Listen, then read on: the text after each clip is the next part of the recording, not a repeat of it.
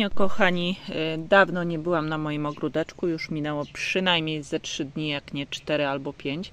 I powiem Wam, że jestem tu dzisiaj, żeby pozbierać moje plony. Bo o ile przez, y, mam tu masę zielska wszędzie, bo się znowu rzuciło jak szalone, o tyle plony rosną. Zobaczcie, cukinia wreszcie wystartowała. Mam tu dwie piękne cukinie, które zaraz zerwę. I widzę tam jeszcze w oddali ogóreczka, a więc coś czuję, że chyba dzisiaj będzie mizeria.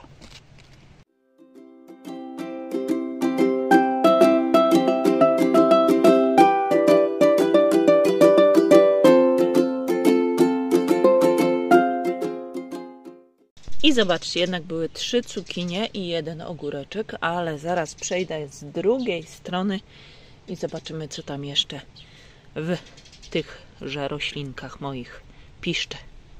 Niestety, kochani moi, zobaczcie, co się stało. To jednak y, nie była mozaika, to jednak jest nic innego jak mączniak. Mączniak na ogórkach. Bardzo pospolity grzyb, który właśnie, gdy jest naprzemiennie bardzo gorąco, a później ochładza się i robi się mokro i zimno, to zaczyna bardzo intensywnie atakować ogórki. No i tak też stało się u mnie. E, czy będę jakoś tam je ratować? Tak, popryskam je, zrobię oprysk i mm, użyję go. Po raz już to będzie chyba trzeci. No ale zanim to zrobię, to wiecie, pozbieram moje plony. Oprysk oczywiście będzie ekologiczny, nie jakiś tam inny, dziwny. Wczoraj, kochani, nazbierałam sobie mm, całe naręcze w rotyczu, to też Wam pokażę. Pięknego, żółtego, pachnącego w rotyczu. Także e, będę miała z czego robić różne wzmacniające e, i leczące eliksiry, eliksiry na moje warzywa. Zobaczymy, co z tego wyniknie. Oby mi tylko motywacji nie brakło, e, bo jak wiecie, u mnie z motywacją jest bardzo różnie. To jest aronia i już muszę ją przykryć, bo już zostaje zjadana. Jak zostanie zjedzona cała, to przyniosą się na inne krzaki, więc aronię muszę koniecznie zebrać. Wody oczywiście dolało, także znowu mamy pełne dołki, ale jest troszeczkę mniej y, ogólnie w ziemi, więc lepiej zaczęła odchodzić. A tu, kochani, mamy kolejne cukinie, więc już je zbieram. Bardzo ładne. Tu mamy taki piękny ślas, zobaczcie, inaczej zwany Bożym chlebkiem. Któż za dzieciaka nie jadł tych nasionek? Piękny jest, prawda? No ślicznie tu sobie rośnie i kwitnie. I przegapiłam y, patisona. Zobaczcie jaki duży. Taki patison to już raczej tylko i wyłącznie do nadziewania, bo jego skórka już będzie twarda, więc ja go sobie tu zostawię. Szukamy raczej patisonów młodziutkich, takich wiecie, niedużych, z maleńkich, takich y, mięciutkich. One są wtedy najsmaczniejsze. Takie większe z reguły już mają twardą skórę. Niestety dynia, która myślałam, że będzie piękna, okazało się, że jednak nie została chyba zapylona, bo zaczęła odpadać. Ale na szczęście ta druga tutaj wygląda, że się zapyliła i rośnie, więc może chociaż jedna będzie. Tu już mamy do zebrania kolejne fasolki, więc zaraz wezmę się i je pozbieram, bo nie chciałabym, by mi przerosły. No i za moment pokażę Wam miejsce, gdzie sadziłam ostatnio też właśnie fasolki, siałam różne warzywka. Zobaczymy, czy one już zaczęły wschodzić. Już przechodzę koło pięknych widoków, to zobaczcie. Tutaj powojnik, powój, pięknie kwitnie, natomiast tutaj zobaczcie motylek. Czyż nieśliczny? Wygrzewa się na liściu. No piękny. Natomiast powoje różnokolorowe kwiatki, które rozkwitają praktycznie jednego dnia i na następny już przekwitają. Spójrzcie jak pięknie to wygląda. Tutaj dopiero powój rośnie. Natomiast ten kooperacji z fasolą. No pięknie wygląda. to oczywiście nic innego jak wiesiołek. Słuchajcie, moje, y, moje lawendy wreszcie się ruszyły i zaczęły wyglądać właściwie, mimo że jeszcze nie kwitną. Ja, co tu zrobię z tymi lawendami, to przytnę te gałązki, żeby się pięknie rozkrzewiły i te końcówki użyję do zrobienia nowych sadzonek lawendy. Coraz piękniej, coraz piękniej zaczęły kwitnąć cynie, ale zobaczcie, coraz więcej jest y, tych w kolorach żółtych, pomarańczowych, chociaż czerwone okazują się dużo wyższe niż właśnie te żółte i pomarańczowe. Są też te różowe, takie igiełkowe bardziej. No pięknie to wszystko wygląda i o takim koralowym kolorze. No super. Natomiast pomidory, kochani, no widzę, że chorują. Te niektóre chorują nawet bardzo. Natomiast jeśli chodzi o te, góra wygląda dobrze, dół trochę gorzej, ale myślę, że jak pójdzie właśnie oprysk wzmacniający, to powinny dać radę. Zobaczymy, co z tego wszystkiego wyniknie. Tutaj, kochani, po cebuli ostatniej e, sadziłam właśnie fasolę, no ale jeszcze nie widać, żeby coś kiełkowało. A nie, już jest. Spójrzcie, już jest. To jest właśnie kiełek fasoli. Także kochani, fasola wychodzi, a tutaj oczywiście pomidorki koktajlowe. To zapewne jest maskotka. One się pokładają zawsze. Y, ja ich za bardzo tak y, nie podpieram, chociaż dobrze by było je podeprzeć, żeby nam się nie złamały. No ale zobaczymy, może je podeprę. Także fasolki nam zaczynają wychodzić. Selery wyglądają naprawdę pięknie. Jedne i drugie. Buraki niestety są brzydkie, więc buraki są już do wyrwania.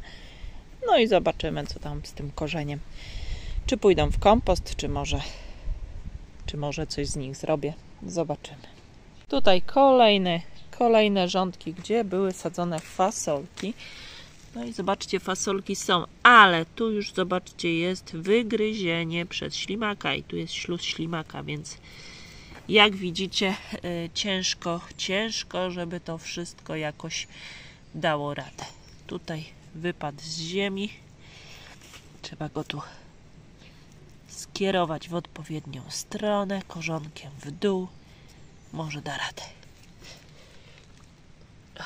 Widzicie tu następne.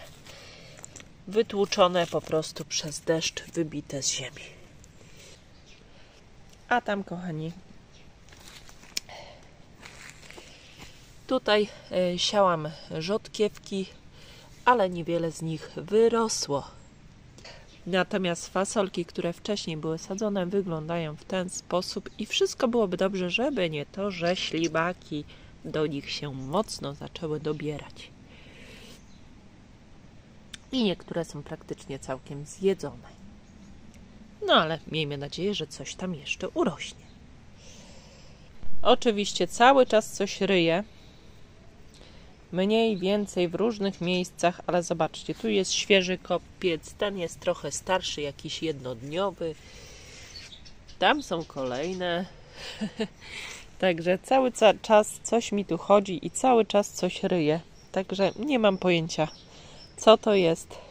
Kocica pięknie pracuje i e, przynosi jakieś tam e, zwierzątka e, pogryzione. No ale no, co ja mogę poradzić? No co ja mogę na to poradzić? Sama już nie wiem.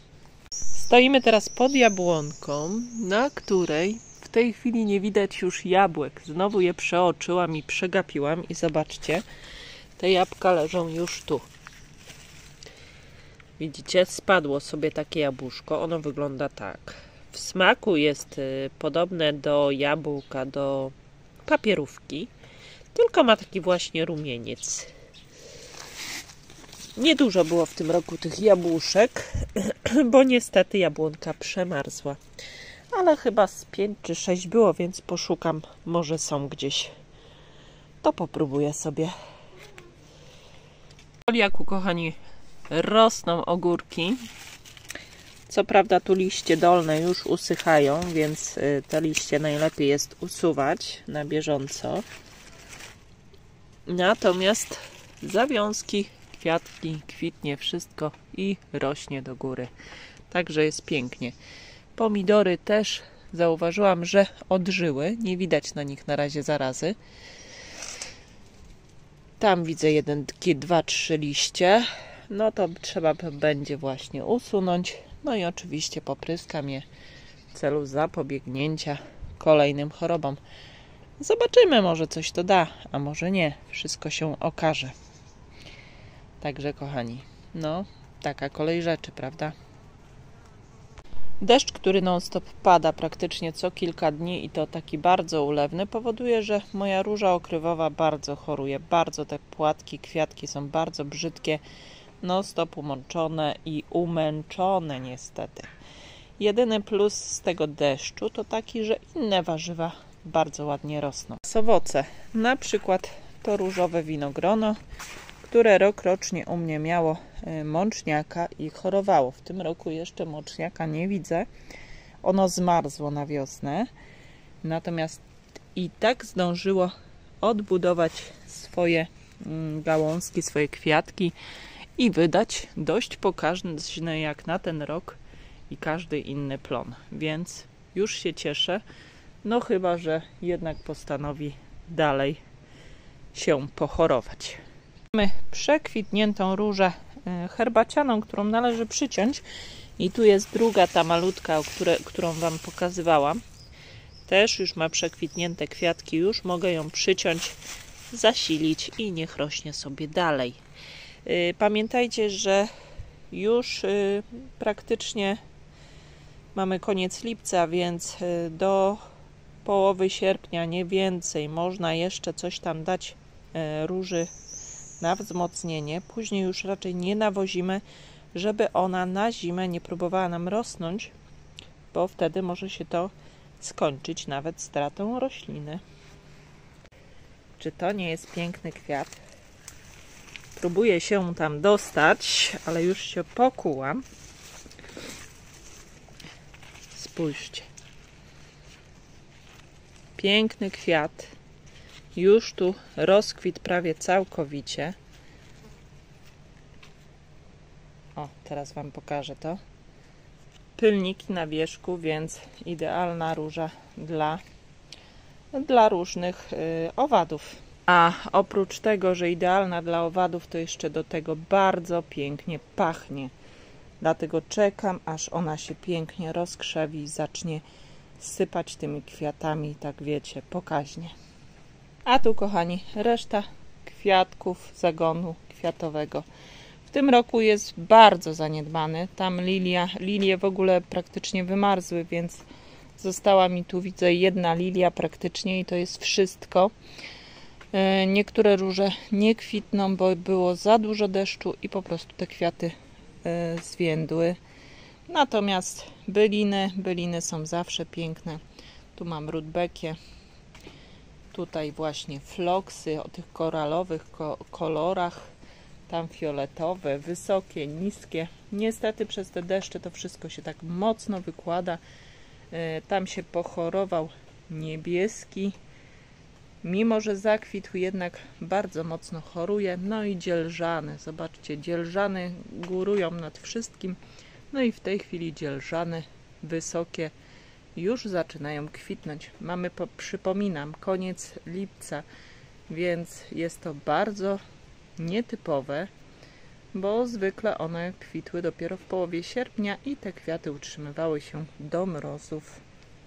Tu jeszcze mamy taką roślinę. Nie pamiętam jak ona się nazywa, dostałam ją od bratowej i jest naprawdę śliczna. No i oczywiście nic innego jak jeżówka purpurowa, też bardzo piękna. Kochani, Kobea wlazła na różę. Na różę pnącą, która na tą chwilę nie będzie w tym roku w ogóle kwitła. Najprawdopodobniej przez to, że przemarzła na wiosnę, w tym roku nie wytworzy kwiatów. No ale mówi się, cóż, trudno. Cieszę się, że moje te piękne margaretki. Nie pamiętam, złocienie to są chyba. Tak to się złocienie nazywa oryginalnie. Ja mówię nieraz margaretki, ale są naprawdę śliczne. I już dłuższy czas chorowałam, żeby posiadać je w swoim ogrodzie. Goździk szabo. No i goździk szabo, powiem Wam, będzie kwitły drugi raz. E, wcześniej kwitł, e, niestety, o tu nasionka, niech się wysypują. Wcześniej kwitły, ale bardzo pojedynczo, było bardzo sucho, teraz ma więcej wody i zaczyna od nowa wypuszczać pąki kwiatowe, także cieszę się, bo będzie naprawdę piękny, pięknie wyglądał. A moją figę, która tu mi się tak rozrasta i rozkłada, muszę koniecznie albo podwiązać, albo przyciąć. No bo te gałęzie leżące na ziemi jakoś tak średnio mi się podobają. Tutaj, kochani, jest cebula, którą ostatnio wyrywałam. No i liczyłam na to, że ona pięknie mi tutaj przeschnie. Niestety w tym czasie spadły dwa razy deszcze i to obfite. Dlatego nie ma co czekać, muszę ją pozbierać i wynieść w suche miejsce, żeby ładnie wyschła. W środku ogrodu, daleko od leszczyn, znalazłam owoc leszczyny. Czy to możliwe, żeby tutaj wiewiórka albo jakiś inny ptak przyniósł mi tą leszczynę? Ten e, orzech laskowy? No bo jakoś nie wyobrażam sobie, by on tu się z innego powodu pojawił. Słuchajcie, jestem w szoku, bo myślałam, że nic nie będzie z mojej e, kapusty pekińskiej, natomiast ta jedna jest miękka, ale coś tam będzie można z niej zrobić. Mimo, że jest taka miękka, ale coś jest. Tam jest druga taka, którą będę mogła wykorzystać, tam kolejna. Natomiast większość moich kapust pekińskich niestety puściła kwiatki. W miejscach, gdzie sadziłam wcześniej fasolę, zobaczcie, ta fasola szparagowa za niedługo będzie miała kwiaty, więc zobaczcie, jak będę miała taki w miarę usystematyzowany yy, ciąg i jakby to powiedzieć, po prostu bardzo, bardzo ciągły zbiór fasoli. Jedna się skończy, druga się zacznie. Tam mam jeszcze fasole szparagowe tyczkowe. Zaraz podejdę Wam je z bliska, pokażę. Bardzo ładne i już też widzę na nich piękne owoce. Tak to wygląda, kochani. Już są takie szparagówki. Tu mam kolejne. Te już były, nadawały się do zebrania. I oczywiście jeszcze je zostawię kilka dni. Ale czyż nie są piękne? No piękne, nie ma co mówić, że nie, skoro są bardzo ładne. Tutaj niestety mój słupek się zaczął przechylać. Będę musiała dać tu jakąś podporę mocniejszą. Natomiast to też jest fasola szparagowa, tyczkowa. O, wykłada się. Także muszę tutaj dać mocniejszy, mocniejszą podporę. I zobaczcie, tu też już mamy szparagową fasolkę. Bardzo piękną, elegancką. Tu natomiast mamy boby, które późno sadziłam. Późno, ale zobaczcie, już mają stronki zawiązane. Niektórym wydaje się, że to było naprawdę późno i że te boby na pewno nie urosną. O, a nie ma nic mniejszego. Niektóre jeszcze kwitną, niektóre już zawiązały owoce i tylko czekać, aż te owoce dojrzeją. I to samo jest tu. Też już pięknie zaczynają wiązać owoce. Tylko się cieszyć. A tu, kochani, do zbioru już e, szykuje się. I to jeżeli będę chciała pozyskać nasiona, no to już muszę tutaj zaraz za niedługo zainterweniować. To jest nic innego jak ostropes plamisty. I jeżeli ja nie zbiorę tego, to te wszystkie nasiona tam ze środka się po prostu wysypią i na przyszły rok będę miała piękny łan ostropestu plamistego. Kapustne w tym roku zaniedbałam całkowicie, że, więc moje mm, kalafiory, zobaczcie, zostały pożarte przez bielinka. Czerwone też zostały pożarte przez bielinkę. Więc ja ogólnie kapust w tym roku mieć w ogóle nie będę. No i wiecie co, jakoś za tym nie tęsknię, mówi się trudno. Może następnym razem bardziej się przyłożę do kapustnych i będzie lepiej. Zobaczymy. Na tą chwilę trudno się mówi. I żyje się po prostu dalej. Natomiast ogórki wolałabym, żeby zamiast kapustnych ogórki mi urosły. Tu mam, zobaczcie, takiego ogórka, którego już zostawiam na nasiona. Natomiast tego wezmę, tego też. I tu u góry jest kolejny, więc może chociaż może nazbieram na słoik małosolnych? No zobaczymy, zobaczymy. Kochani, kochani, kochani. No i tyle nazbierałam. Takie większe wiaderko. I zobaczcie, jak rosną moje dynie. Coraz bardziej zastanawiam się, czy ta dynia to nie jest ta dynia Olga bezłupinowa, ale pewności nie mam, więc czekamy, aż dojrzeje, prawda? Trochę jej tu jest i powiem Wam, że jeszcze trochę będzie, bo kwiatów jest dużo i tych takich właśnie, zobaczcie, płonnych, które nie mają zalążni, ale i takich właśnie z tymi zalążniami też jest sporo. Zobaczcie, co kawałek jest dynia, no i tam dalej cały czas są kwiaty, więc pewnie będzie za niedługo kolejna. Także zobaczymy, jak to wszystko się uda i czy się w ogóle uda. Oczywiście w niektórych rządkach jest tak gęsto, że nie mam za bardzo jak przejść. No ale wiecie, jakoś się tam prześliznę, pozbieram ogórki. Wykopię może parę ziemniaków, bo tu na przykład w truskawkach mam ziemniaki. No już muszę je usunąć. No i kochani, jestem w potwornym szoku, bo nie myślałam, że ja tu mam czerwone ziemniaki, a mam, zobaczcie, wyglądające na bellarosę albo jakiegoś innego ziemniaka. Ciekawe. Bardzo ciekawe. Zobaczymy, czy tam głębiej czegoś nie ma, ale na tą chwilę widzę i tak 2, 4, 6, 7 w miarę sporych ziemniaczków, rosnących oczywiście w truskawkach, więc na dziko, bez sadzenia.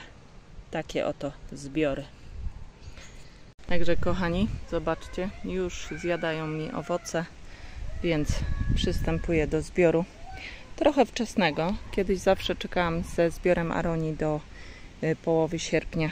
Teraz ostatnimi czasy ptaki są zwykle szybsze, dlatego ja już o tej porze postanawiam, że należy zebrać tę aronię. I tak wyglądają moje zbiory. Pół wiaderka aronii, fasolka, ogórki, cukinia i patison, no i parę ziemniaczków dla tych, co lubią ziemniaki. Także kochani, na tym kończę. Dziękuję za oglądanie, za subskrybowanie.